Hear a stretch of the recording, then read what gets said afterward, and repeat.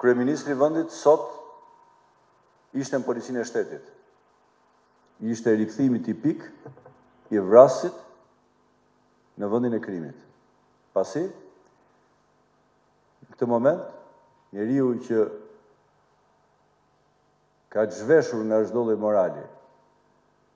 E ka zhveshur nga çdo lloj përgjegjshmëria në raport me ligjin Policinë e Shtetit, është vetë Edi Rama i cili që në vitin dy mijë e trembëdhjetë zgjodhi ta drejtonte ai Policinë e Shtetit dhe jo ligji.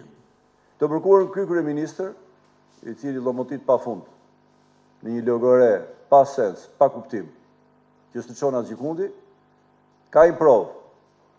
shumë qartë e evidente, të vendoset me krimin apo të vendoset kundra tij.